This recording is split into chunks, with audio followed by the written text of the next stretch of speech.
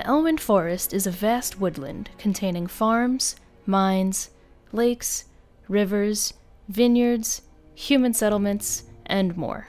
Having a calm and serene appearance at first look, it serves as the starting zone for all human characters who begin their journey in Northshire Valley.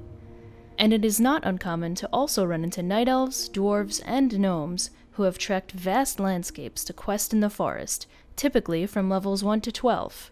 A great introduction to World of Warcraft, the Elwynn Forest encompasses so many of those well loved fantasy elements a medieval type world setting, magical powers and forces, good versus evil, and even a little romance thrown in if you actually read the quests.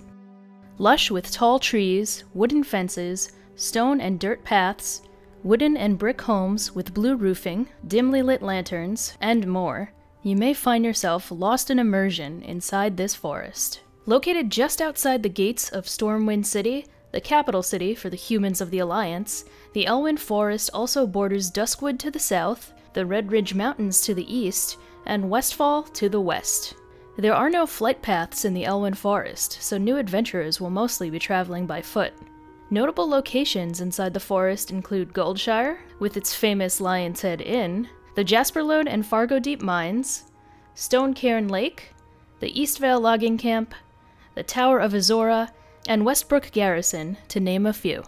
While Goldshire is the largest settlement in the forest, the Eastvale Logging Camp prides itself as the epicenter for the lumber industry. There, you'll find many hardworking peasants laboring away night and day collecting wood. Eastvale is also where humans can train their riding skills for normal and epic horse mounts. Although in close proximity to Stormwind City and under the watchful eye of city guards, travelers ought to stick to the main roads to avoid certain peril. For within the forest lie certain dangers. Kobolds have infiltrated the mines, Murlocs have moved inland to occupy certain lakes and rivers, and the Defias Brotherhood, a group of red mask wearing bandits, have become an increasingly grown menace within the forest. Jerod's Landing, in particular, a dock on the southern bank of the forest, was overtaken by the Defias Brotherhood, used to smuggle large quantities of contraband from Claven's Tower in Redridge to Westfall. The Defias Dockmaster keeps a watchful eye over the operation, while Defias rogues and bandits patrol the area. As for the wildlife within the forest, adventurers must also be wary of bears, boars, spiders, and wolves all of which are hostile outside the boundaries of Northshire Valley. Key inhabitants like Marshal McBride, Marshal Dugan, and Guard Thomas are dedicated to keeping the forest free of danger. An often overlooked citizen of Stormwind who covers a lot of ground, patrolling the four starting zone areas for humans the Elwynn Forest, Redridge, Westfall, and Duskwood is Antonio Perelli, a traveling salesman a merchant of exotic goods who will often break to rest upon reaching a certain destination, he has made it clear that he's not too fond of walking through Duskwood. If you catch him at the right moment, you may find several uncommon, limited quantity items available for sale. It is thought that Antonio is related to Silvio Perelli, a traveling salesman that could be found in the Culling of Stratholme from Wrath of the Lich King. If you see Antonio around, please send him my regards. Within the forest, you may encounter a number of helpful resources to aid you in your journeys. Linen and wool cloth typically drop from humanoid mobs. Peacebloom, silverleaf, and earthroot grow throughout the land, fresh for picking. Ruined leather scraps and light leather may be skinned off corpses of wildlife in the zone. And copper veins are present for mining, most notably inside mines and around cliff areas.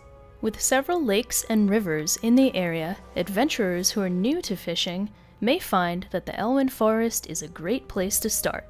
Visit your nearest fishing trainer for some beginner tips and tricks. Grab yourself a fishing pole, and don't forget to grab lures as well. You can easily find a body of water to cast your line in, but always be sure that the surrounding area is clear. You don't want to get ambushed while fishing. And while you're at it, save the fish that you collect. In addition to that, and any other meat that you've collected along the way, you could surely level up your cooking skill pretty easily. Be sure to visit the cooking trainer Tomas inside the Lion's Pride Inn. You'll find a plethora of quests in the Elwynn Forest, and there are undoubtedly some that stand out more than others. Perhaps most famous is a wanted poster from Westbrook Garrison, close to the Westfall border, pleading to find an adventurer who can acquire a huge Gnoll Paw from the villainous Hogger, an elite Riverpaw Gnoll chieftain. Along with his Riverpaw tribe, he is loosely connected with the Defias Brotherhood. Adventurers are advised to seek a group of friends before tackling this dangerous endeavor. Other notable quests involve cleaning up the Fargodeep Mine, which has been overrun with kobolds who really don't want you to take their candles. Goldtooth is a notable named mob inside the mine, involved in a quest chain asking you to retrieve a necklace. And speaking of retrieving items, competing pumpkin patch owners who reside in the Elwynn Forest are at odds over the Brackwell's prize winning pig Princess, who keeps eating Ma Stonefield's crops at the Stonefield farm. Retrieving Princess's brass collar is another notable quest that comes to mind in the Elwynn Forest. And let us not pass over the hub of the Eastvale logging camp, where you are first greeted by guard Thomas, followed by the inhabitants of the camp, requiring your aid. Collecting bundles of wood, helping purge dangerous wildlife, retrieving bandanas from fallen Defias are all just a few objectives that you will be tasked with. Even assisting in finding lost guards, or what's left of them. Not too far from the Eastvale logging camp is the Tower of Azora, a small mage tower run by a group of servants of Azora, most of which appear to be gnomes. The Archmage of Azora, Theocritus, presides over these servants. The denizens of the Tower of Azora are constantly at ends with the inhabitants of the Tower of Ilgalar in Redridge Mountains, who is ruled over by an evil sorcerer named Morganth. You'll find that the two towers often spy on one another through the use of magic. Inside the Tower of Azora are several vendors, as well as the artisan enchanter for the Alliance. You'll also find, as you scale the spiral stairs towards the top, paintings on the walls, shelves of experiments, alchemy vials, books, fossils, and more.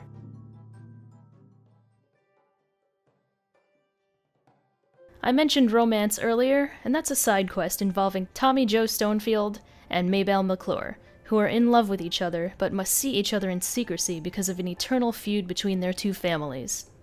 With the help of you, the adventurer, and his grandmother, Grandma Stonefield, you can help them by following a quest chain that involves engaging in combat with murlocs, eventually leading to the concoction of an invisibility potion.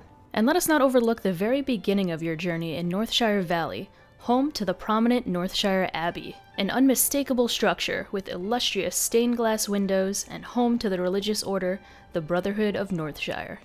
It is with Marshal McBride and Deputy Willem that you will begin your travels, assisting in culling the kobold infestation, cutting down numbers of wild wolves, and meeting your first members of the Defias Brotherhood. And let us not forget about Millie Osworth, who is in dire need of someone to help retrieve buckets of her coveted grapes. There are many adventures to be had in the Elwynn Forest. Next time you are traveling in the area, be sure to take a moment and enjoy the scenery, the ambiance, the music, and most of all, one of the most iconic, nostalgic zones in all of World of Warcraft Classic.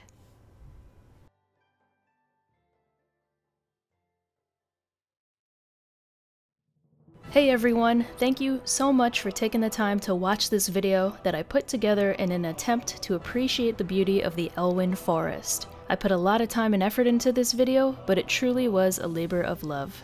I'd like to do this with more zones in WoW Classic and perhaps beyond that in the future. So if you like the format of this video and you want to see more, please hit the thumbs up button and suggest what zone I should do next in the comment section below. Since the Elwynn Forest is the starting zone for humans, I was thinking of either showcasing a Horde starting zone, like Durotar or Tirisfal Glades, or perhaps even Mulgore, since it's kind of like the Elwynn Forest, it's a vast open landscape where you could feel more in tune with nature. It's up to you guys though, so please let me know your thoughts. Don't forget to subscribe to my YouTube channel if you haven't already, and check out all of my socials below. I want to send a huge thank you out to all of my Patreon supporters who help fuel this content and allow us to offset some of our living expenses so that we could keep doing what we're doing. Be sure to check out patreon.com slash warcraftbrew if you're interested in joining the party and learning about what perks are associated with the membership. Thank you again for watching this video, and maybe I'll catch you during one of my live streams. Take care.